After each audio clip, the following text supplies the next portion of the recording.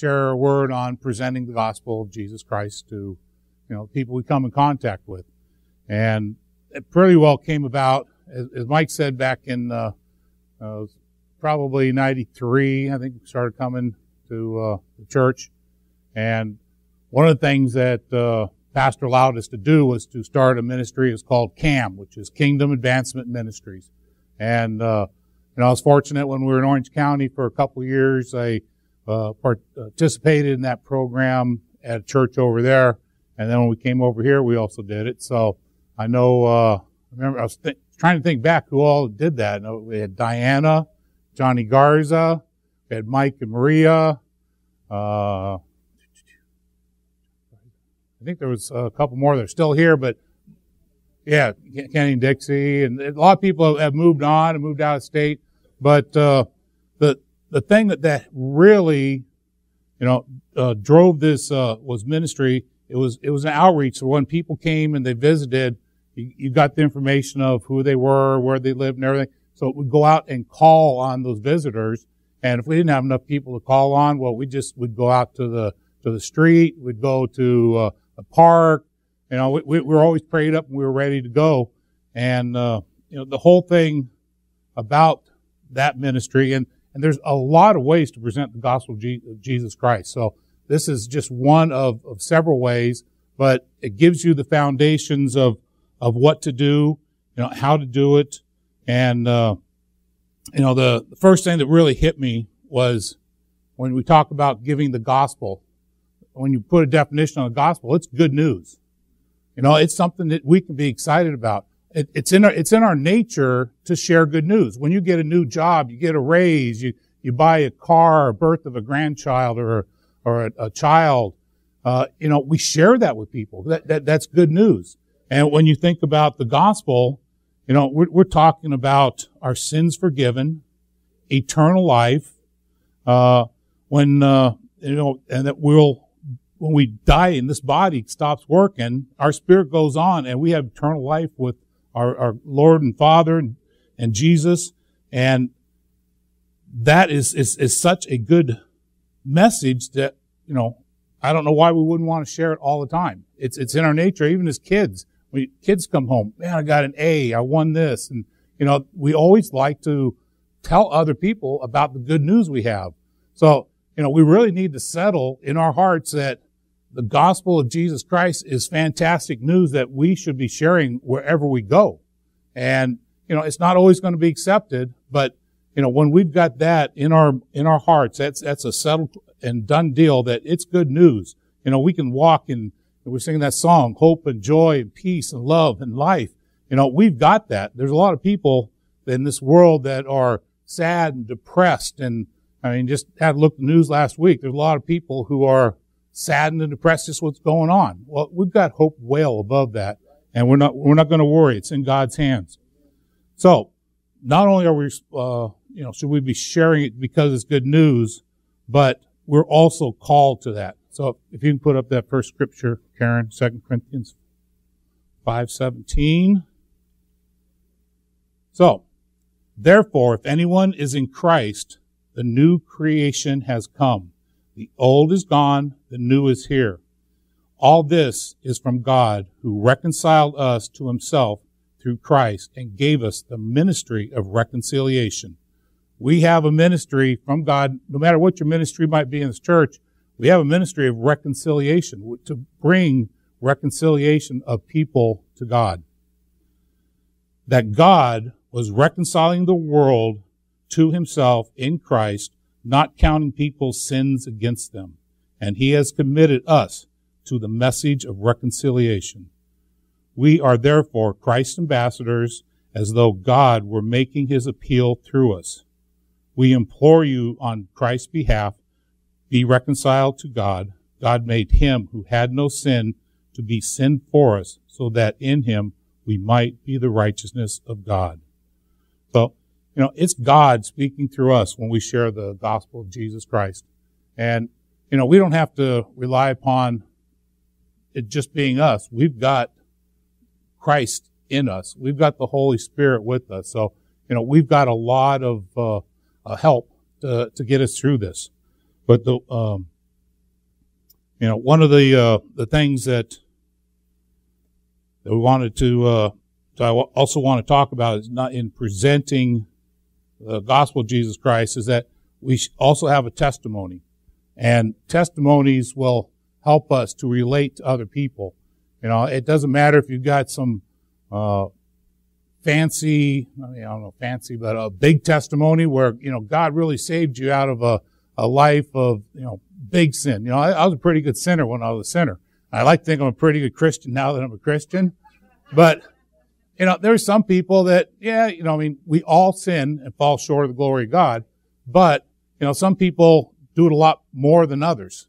And so, you know, I know when we went through, uh, uh, putting our testimonies together, you know, one of the things I found out at that time, Victor Sarver and Carol Sarver used to be at our church, where they went to Oregon, and my testimony was almost exactly like Victor's. We did the same things. We were into the, you know, same goofy stuff. And I'll just leave it at that. And, uh, you know, but then you take and you look at like Pastor Carol, who grew up in a church, never really got too far out of whack. And, you know, she accepted Christ as a young, young girl and, and she stuck with it. Well, you can say, well, that's not very exciting. Well, there's still a lot of things that God did and changed her. And it, whether you've changed from, you know, being really super bad or you, you just changed, you know, every one of us have told a lie at one time, right? Is there anyone who has never told one lie? Okay, so, so, so that makes you a liar, right? So, I mean, we don't want to say, oh, we're a liar you know, but if you've told a lie, that's what you are. So, you know, we, we all need, we all need the, the, the gospel of Jesus Christ. Now, uh, so when, when you think about a testimony, a testimony, you should write down what your testimony is. And it should be able, you should be able to share that in about two minutes with somebody.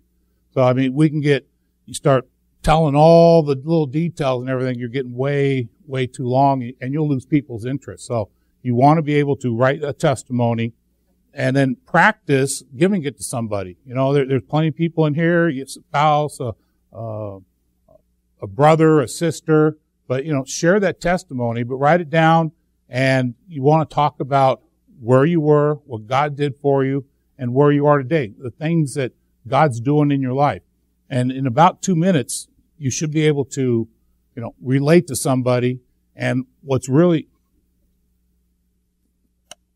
what's really interesting is if you're going to go out and share the gospel, that if you do it with somebody else, it's amazing that that between two people, almost all the time, the testimony of one of the two is going to match up with, be very similar to who you're sharing that gospel with. So you automatically start to relate to somebody because they've been through the same thing that, that you've been through. So, uh, if you sit down and do that and you want to be prepared, bring it in here. I'll take a look at it. Uh, you know, I did years of, uh, uh of looking over that and, t- and, teaching people. When we did our CAM uh, class, we actually set, we didn't go out and preach and talk to anybody for probably six to eight weeks. It was all in the class. We prepared a testimony we memorized an outline of what to present to people and the scriptures that backed up all those statements. And the reason we did that, it wasn't so that, you know, you could just be a robot and go through it. It was actually so you knew it so well that you could hold a conversation with somebody. You had the scriptures that you've memorized. The Holy Spirit brings up the right scriptures at the right time. And when you're presenting and talking to people, about uh, the gospel of Jesus Christ, sometimes it can get off track. Well, if you know all the steps and all the things that you want to cover, it doesn't matter what rabbit hole you end up going down, you get back on your conversation and you make sure that you cover everything they need to know to make that decision by the time you get through sharing. So it really does take a lot of work and a lot of study. You got to know the scriptures. So, uh, can you put up uh, Second Timothy there? So, this is uh, Paul talking to Timothy, telling him to be diligent to present yourself approved to God, a worker who does not need to be ashamed, rightly dividing the word of truth. You know, it takes time, it takes effort, it will take some studying to, to learn the scriptures that go along with presenting a full gospel presentation to somebody in a few minutes. There again, you don't want to be trying to tell everyone about the whole Bible and try and condense it down a half hour. You want to be able to have a conversation with people and in about 10 minutes be able to show them all the things of what God has done, why we need it, what He's done to recover us, and to present the gospel. So, uh, to. You will find that there'll be some people that, even after you present a gospel, they'll they'll reject it. They're not rejecting you; they're rejecting God. So it, it doesn't matter. We still get out there and we we do present it. But if you don't do it as a Bible based, the words of the Bible, presenting it to them, it's just you and, and God, God's going to have a hard time working with that. It's not that He can't, but you know we need to make sure we're using scriptures because there's power and there's authority in the in the scriptures and the Word of God. And uh, just like and just in the uh, going back to the uh, testimony, in Revelations 12, it does say that, you know, you, they overcame by the blood, blood of the Lamb and the word of the testimony. So, you know, it, it's really not only the blood of Jesus that, that saves us, but your testimony is powerful and will sway people. So, how do you start? The, one of the easiest ways to do is, is just to ask uh, someone a question. And the question that we used in CAM was, if someone came up to you and asked, how can I find God? What would you say? Now, as soon as that person gets ready, you know, give you that the answer on that, you can tell immediately if they know what the, Bible says about being saved. You know, you might get someone that says, "Oh, well, you know, God's just everywhere, so you can just go out in the forest and be one with the trees." And you know, there's people that believe that. You know, so I mean, you can get a variety of different answers Someone might have actually accepted Jesus Christ as uh, a young child, but never continued to read the Bible, to grow and develop. So they really may not know all the details of what being saved really incorporates. So once you uh, ask them, uh, you know, you'll know they're saved by, by their answer. Uh, if you share, and then uh, if saved, if that person is already saved, then what you want to do is be able to like share the baptism of the Holy Spirit. You can just ask them if you know you want to be, you know, need some prayer. You come into prayer agreement. So if we have some time today, I'll probably walk through uh, sharing uh, baptism of the Holy Spirit with people too. And uh, if anything is off from what the Bible says, then after that first question, you can say, well, the Bible's very specific about how we can be reconciled, how we can be saved and have eternal life with God. And just ask them, then, can I share that with you? And most people say, say yes. You know, unless they're so opposed to the Bible, and, and some people have different uh, reasons not to do it. But for the vast majority of people, if you say, can I just share with you? They'll say yes. So then it's a matter of being prepared and what you're going to share with people. So, the first thing that someone needs to know is that sin has separated us from God. And so that's why we need to be saved. It is sin that has separated us from God. We were created to be, uh, to have fellowship with God, but Adam and Eve's disobedience allowed sin to enter us and our world. So you need to be familiar with the uh, Adam and Eve in Genesis, uh, Genesis 3, Genesis 4, and what happened in that garden and how sin, you know, came in and separated us from God. Uh, Romans 3.23, I think I already said this once, for all have sinned and fall short of the glory of God. And there's a lot of other scriptures with that, and I do have a, a, a full set of notes of not only this, but a couple other gospel presentations uh, for everyone. And there's several scriptures in here and if you really look up sin and separation from God, you can see there's hundreds of, of scriptures that talk about how we're separated from God from uh, when when sin. So, once you've established that uh, sin is separated from God, then the next step is to talk about the blood. It is the blood of Jesus Christ that brings us back into a, a right relationship with God. And when you talk about the blood, it's not only just the blood, but it's about Jesus Christ and that he is the Son of God and come to, you know, God in the flesh coming to us. So without the shedding of blood, there is no forgiveness. That's Hebrews 9:22. The Old Testament has over a hundred scriptures about sin, about sin and sin offerings. These involve a sacrifice, the shedding of a blood. These cover the sins of the Israelite, but had to be repeated over and over and over again because the only thing uh, that the blood that was shed at that time did was cover sins. It did not forgive sins. Even when you look at the uh, Old Testament and Adam and Eve, you know, once God came and there was sin, God had to make animal tunics for them to cover them up. So there was a shedding of blood from the very beginning, and all that did, it said, Bible says, covered their nakedness. So it was covering their sin, and even from the very start, there was a shedding of blood to cover sins. Once you get uh, into the Israelites and, and how God wanted them to uh, be forgiven, it was sin offerings, and there was always shedding of blood in those offerings. But God had a better plan. So in John 1 1, starts off saying, In the beginning was the Word, and the Word was with God, and the Word was God. Drop down to verse 14, it says, And the Word became flesh and dwelt among us, and we beheld his glory, the glory of the only begotten Son.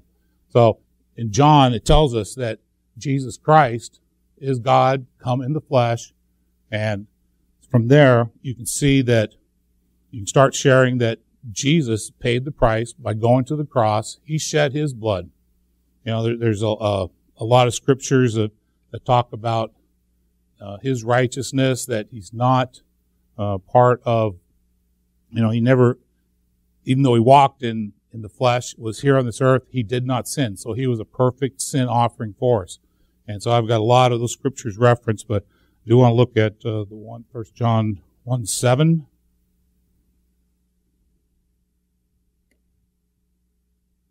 But if we walk in the light as he is in the light, we have fellowship with one another, and the blood of Jesus Christ, his son, cleanses us from all sin.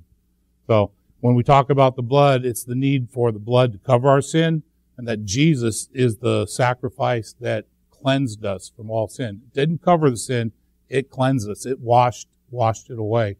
And you know, the other part in that too is that if we walk in the light as he is in the light, you know, if you walk around and you're a jerk most of the time, you're not going to be very successful presenting the gospel of Jesus Christ.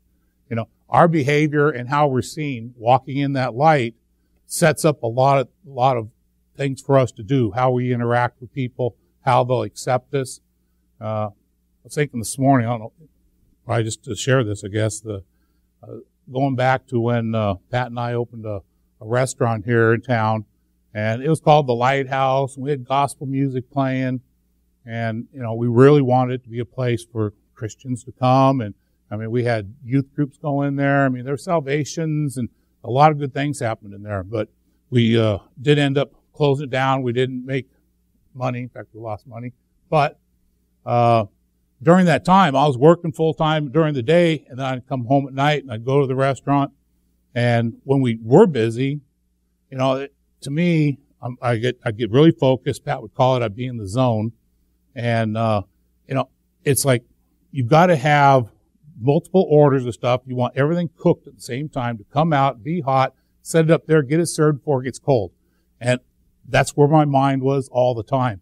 And one day, my son looked at me and goes, "You're mean," and it was like, "What?" It, I I just couldn't comprehend. But I stepped back and I started thinking about it. It's like, yeah, you know, I, I get in this zone and I, I, wasn't thinking about how I was saying things to anybody else. It was just, I wanted to get it done. I'm barking orders and everything. And so, you know, that really changed my attitude and, and that we really have to be that way all the time. We've got to be on guard in how we're behaving. You know, there's a light shining on you, especially if you start going out to present the gospel of Jesus Christ there, there's a, a target on you and a big spotlight. People will see how you behave and how you act. Do you really believe this? So anyway, we need to, to be very careful on that. So it is the blood. The next step is uh, we need to let people know they need to repent. And all repent is, it's a decision to change. I'm doing it this way. I decided I'm going to change and I'm going to do it God's way. So it's a decision to change. We need to recognize our sin and decide to change. And let's look at Acts 2.38 real quick. There's several other uh, scriptures on repentance. Then Peter said to them, Repent and let every one of you be baptized in the name of Jesus Christ for remissions of sins, and you shall receive the gift of the Holy Spirit. So, you know, we need to repent before we can move on with anything else. It's pretty clean cut and dry. The next portion that many, many people, and really that's all you really need to, know is that, you know, we're, our sins have separated from God. It's the blood of Jesus that brings us back into right relationships. We repent and then we accept Jesus. And a lot of times people will leave it at that and kind of walk away. But one of the most important things you can do when you're sharing gospel with, with people is also let them know that they need to do what they say they believe. So doing what you say you believe will cause change and growth in you. So I can accept, and there's tons of people who have accepted Jesus Christ as their Lord and Savior, but have never grown past that. You know, they just stay right there. They don't go to church.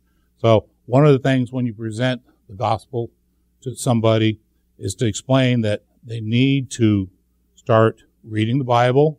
They need to find a Bible teaching church. They need to spend time in prayer.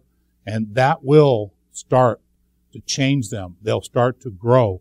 And without that, they're just hanging out there in the wind, flapping around, and a good target for the devil to come pick off.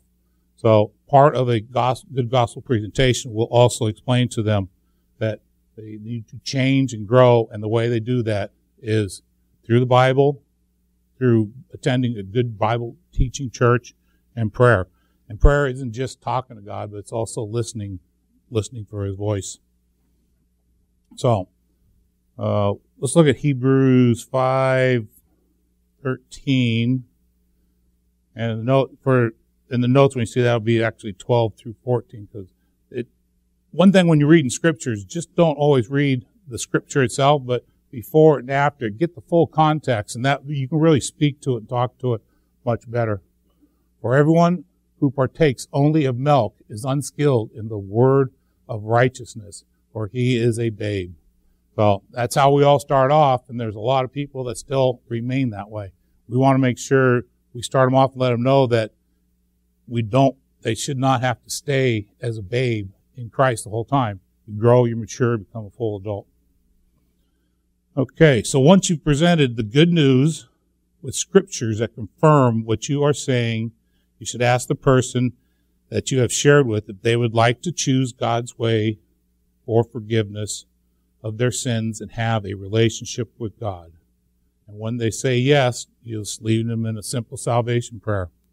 And salvation prayer can be as easy as Lord Jesus, I want to know you personally. Thank you for dying on the cross for my sins. I open the door to my life and receive you as my Savior and Lord.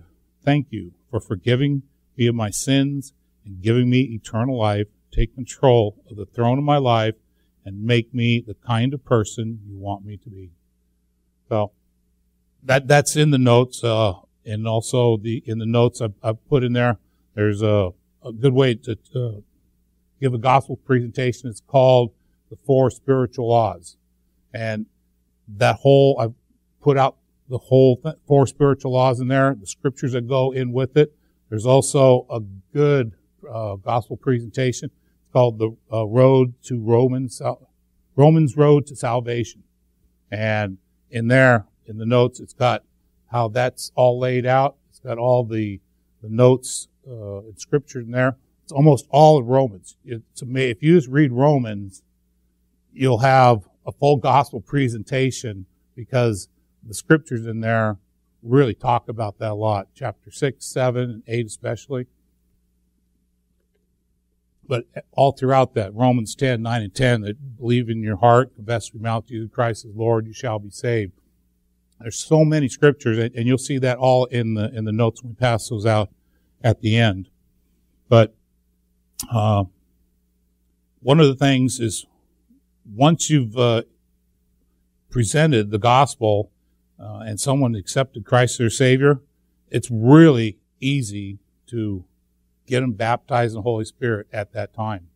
Now, we all get the Holy Spirit as soon as we accept Christ as our Savior, but the baptism of the Holy Spirit is a separate uh, action that, that we take. And so in CAM, we used to have a packet. Not only did we pray for the Holy Spirit, but we also had uh, healing cards. And we would just actually sit down there and we'd walk through scripture by scripture.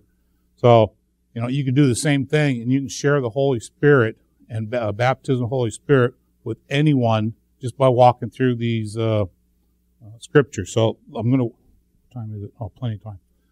I, am always fast, so we'll have plenty of time to do this too.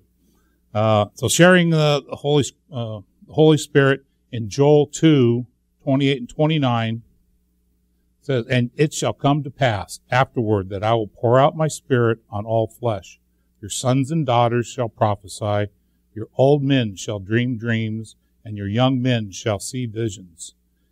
And also on my men, men servants and my maid servants I will pour out my spirit in those days. There's a prophecy about the Holy Spirit coming. And the key parts in there is that I will pour out my spirit on all flesh. So receiving the Holy Spirit is for everybody. No one's excluded. It's for all flesh. And even in verse 20, when it says, and also on my men servants and maid servants, in the, in the day that this was, uh, would have happened when it was uh, written, men servants and maid servants were considered very low on the totem pole. So you didn't have to be a high class citizen. It, they're even saying, hey, it doesn't matter what your status in life is, it's for you. So the Holy Spirit will be poured out upon everyone. In Matthew 3 11, I indeed baptize you with water unto repentance, but he who is coming after me is mightier than I, whose sandal I am not worthy to carry. He will baptize you with the Holy Spirit. So, this scripture tells us that even though you get the Holy Spirit when you become born again, that there is a baptism, and that's exactly what uh, John the Baptist called it. He called he will baptize you with the Holy Spirit and with fire. So this is a separate step beyond receiving the Holy Spirit when you get saved. In Acts 1 4, and being assembled together with them, he commanded them not to depart from Jerusalem, but to wait for the promise of the Father, which he said, You have heard from me. So if you look at that scripture, the promise of the Father is the Holy Spirit. So not only does it say they'll pour out all flesh, but it's a promise. We have a promise of receiving the Holy Spirit from, from Jesus. Acts 1 8 tells us that you will receive power after the Holy Spirit has come upon you, and you shall be my witness to me in Jerusalem and to Judea and Samaria and to the ends of the earth.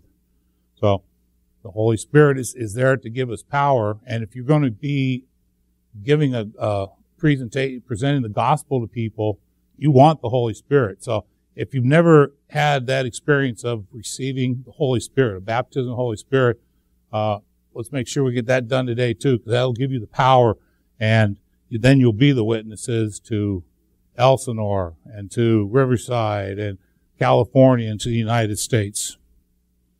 Acts 2 4. And they were filled with the Holy Spirit, and they began in tongues as the Spirit gave them utterance.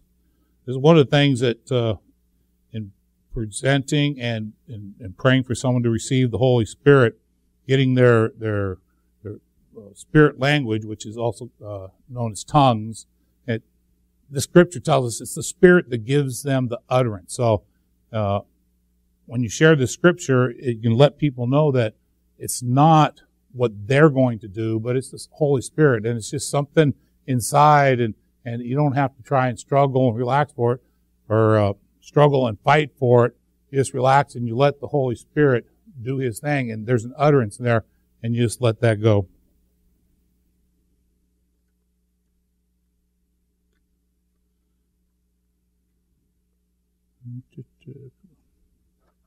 Acts 2 33.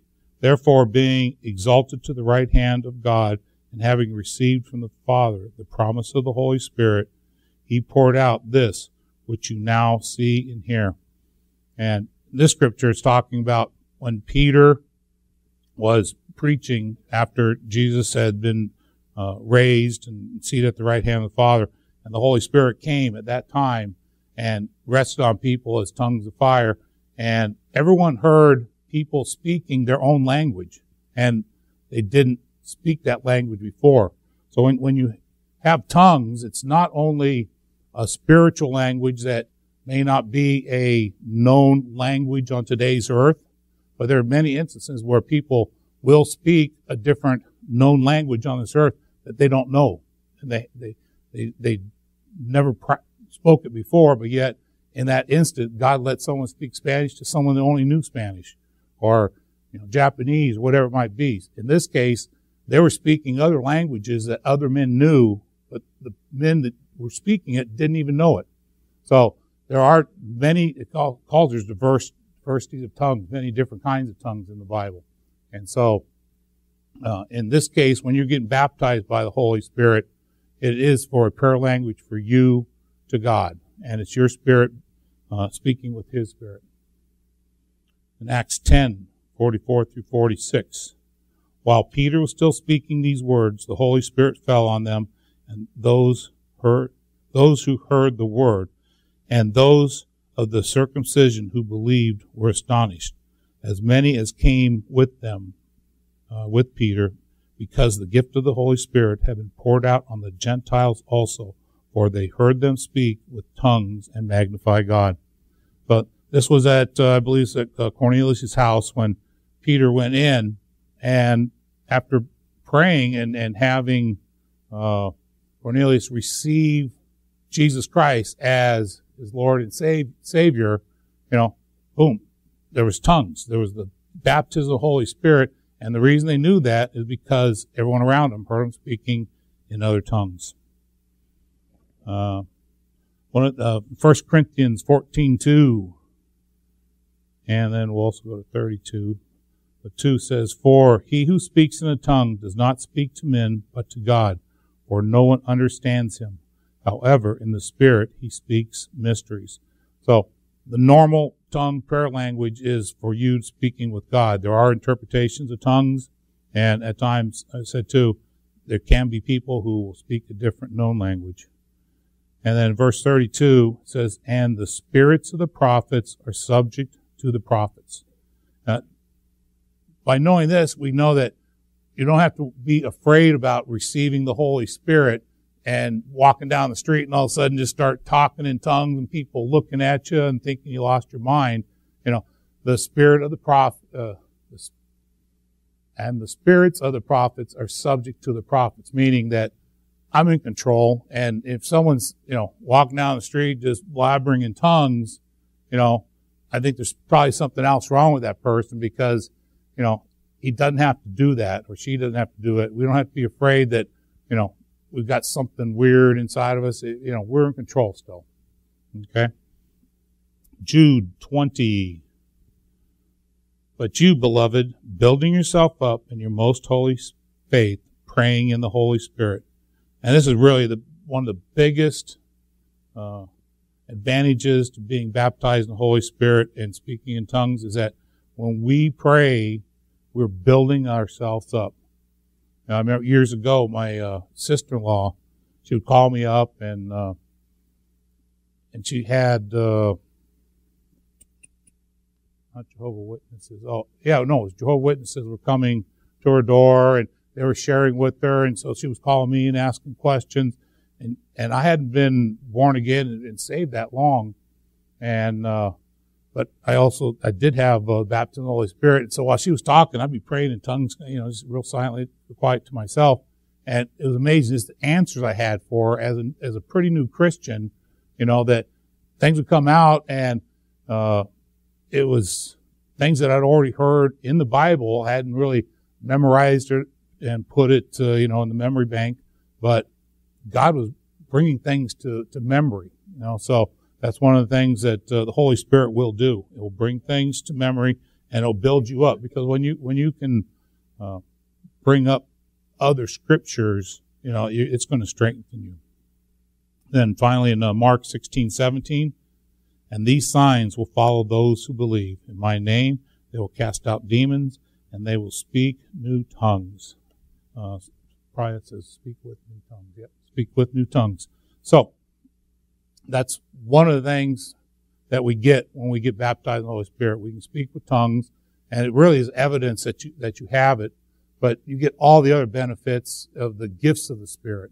So being baptized in the, in the Spirit, and it's a really easy to just walk through and explain those scriptures to people.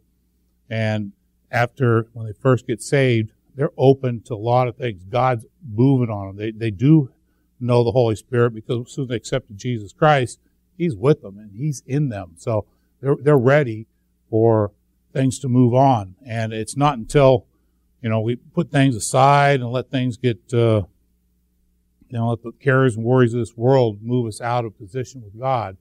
That uh, it's it's harder to come back and have this as a secondary step.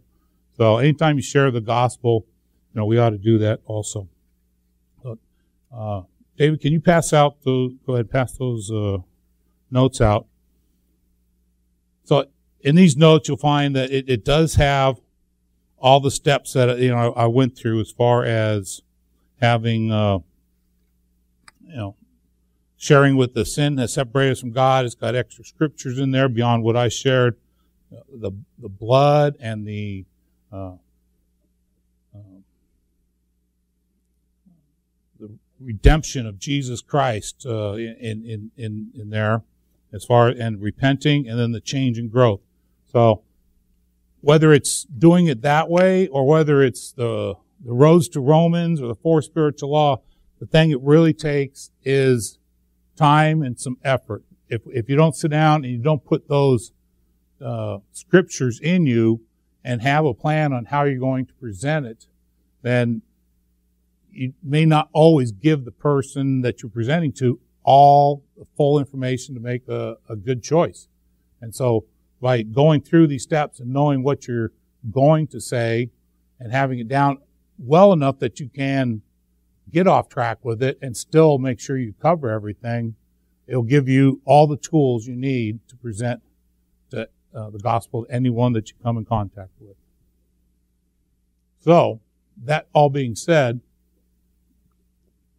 I know there's so many people in here that I've seen for so long, and I, I know that you're all saved. Uh, a lot, a lot of kids even probably got accepted Christ in uh, Sunday school. You know, Pat and I years ago, or at camp or whatever. But uh, is there anyone that hasn't accepted Christ or Savior, or aren't in the position where you really want to be? You know, I, I want, do want to pray with you today. Or if you haven't received the gift of the Holy Spirit, which is a promise of God, it's a good thing from God, and it will help you in your, in your walk with God. So if you've never received the baptism of the Holy Spirit, I'd love to pray with you for that today too. So uh, that being said, uh, just come on up if, if there's anyone who you know needs or wants any of that, or just any other kind of prayer. Hallelujah, hallelujah. Uh, let's all stand if we could. Uh, thank you for that word, Ken. Uh, the funny thing about sharing the gospel of Jesus Christ is just a matter of taking that first step of faith. Okay? These are just tools in your hands. I know back in 1987, maybe 1988, my, uh, both my mom and my dad accepted Christ their Savior because of what this four spiritual laws said. Okay, now, understanding where they came from, they're both divorced. One year they came out at two separate times to California to visit. And I sat down with them. I says, I've got, I've got to get this in their hand, let them make a decision. I handed them a track called The Four Spiritual Laws, and I says, here, this is what this says. This is so they can understand where I'm coming from. And it basically took them through step one, step two, step three. And I said, well, what do you think? He said, does it make sense to you? She goes, yeah, it makes sense to me. I said, well, do you want to accept Christ your Savior? Okay. And both of them, two different times, two different, you know, if you're from a divorced home, it's like it's totally two different worlds, but they both accepted Christ their Savior. Okay. But it wasn't because of anything fantastic I said. It wasn't anything that was amazing. It was just what the Word of God said. And to share the gospel of Jesus Christ, all it takes is for you to step out and present it. Just say, do you know Jesus Christ, your personal Savior? Oh, people just go, well, yes or no. That's the only answer they have. And they say no, and say, would you like to know who Jesus is? And you just go through and you explain because you've read these scriptures, understand these scriptures, and you're filled with the Holy Spirit, and God just unfolds the whole story, everything you say. There's lots of tools. There's lots of things you use. I got tracks. I know uh, uh, our youth group has a, uh, a, little booklet that we had to pass out in the high school uh, called the uh, Life Book. Okay, tells the whole gospel of Jesus Christ. They didn't have to do anything. He said, "Here, I got a gift for you." Boom, and the Holy Spirit does the rest. I don't know how many kids have got saved out of that, and we'll never know until we get to heaven or somebody comes and tells us. But the important thing is, is that we step out in faith. Okay, this uh, outreach we're doing on uh, December 3rd. Okay, this is you guys need to go home and read this. If you're sitting at booth, you'll have to be under understand what God's going to do. God will bring you the people. You don't need to bring the people. God will put people right in front of you that you need to open your mouth and share the gospel of Jesus Christ with. In whatever vernacular, whatever terms that God have you use at that time. All right? So just just a step of faith. And they're just those three, uh, three steps. Admit they're a sinner, repent, and accept Jesus Christ. That's it. But, as Ken said, the power of the Holy Spirit, being baptized in the Spirit, gives you that extra, okay? And it really draws people. So, now that you've got this stuff, all right, God's going to put people in front of you this very week, okay, that you're going to have to be prepared to share the gospel of Jesus Christ with, whoever that is. Might be at work, might be at school, wherever it is, God's going to put because now you're going to be held responsible for it because now you've heard the word that uh, Ken shared and now we have to put it into practice. Amen. So let's just uh, go ahead and close in prayer. Ken and I will be up here for prayer if you need it. Uh, if you want to receive the baptism of the Holy Spirit, we're here. If you've never accepted Christ your Savior, we're here. Don't leave this place without either one of those. So, Father, in Jesus' name, Lord, Lord, we just thank you, Father, for the equipping power of your Holy Spirit, Father. Thank you for your word, Lord, that we can use to bring people to a saving knowledge of who you are, Lord. But Lord, we also understand, Lord, that it's not by anything we do, Lord, except by taking that step of faith. It's by uh, the power of your spirit that draws people to you. You're the one that saves them, Father. You're the one that does all the work needs to be done. All we have to do is just step out and believe that, Lord, you're going to speak to that person and you're going to see them come to a saving knowledge of who you are. And Lord, even though we may not understand how you work all the time, and we can be, it can be full of rejection where people says, no, nah, I don't even want nothing to do with that. Lord, we also understand that the seed's been planted by our faith because we step forward. We just thank you, Father. You use us, Father, for bringing people to a saving knowledge of you, who you are, Lord. And Father, we just know during this next season, Father, uh, there's going to be a lot more this going on, Lord, because the time is getting closer to the end. And Lord, we got to step it up and bring as many people into the kingdom of God as we can. In Jesus' name, use each and every one of these folks here this morning, Father. And Lord, just equip them, Lord. Watch over, protect us throughout this week, Lord. Let it be the most awesome week we've had, Father, in a very long time, Lord, because we're listening to you. In Jesus' name. Amen. Give the Lord a big hand. Thank you, Ken. We're up here if you guys need prayer.